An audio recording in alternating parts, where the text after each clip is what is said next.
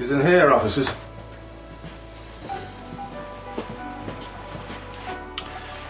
Joseph Tate. Is this about last night? Well, why else would they be here?